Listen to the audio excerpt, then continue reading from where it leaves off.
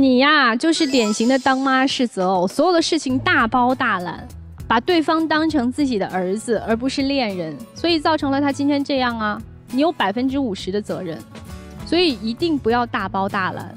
如果谈恋爱就轻轻松松的谈恋爱，不要当妈一样的去谈恋爱，太累了。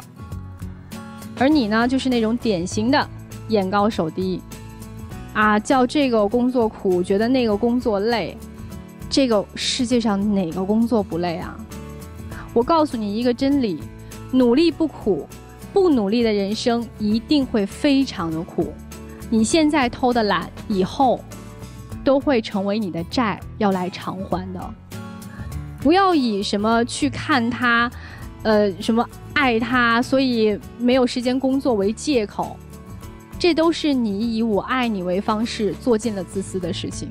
所以，先学会成长吧，成长为一个男人，懂得担当，懂得男人的责任是什么之后，再来谈感情。祝你们幸福吧。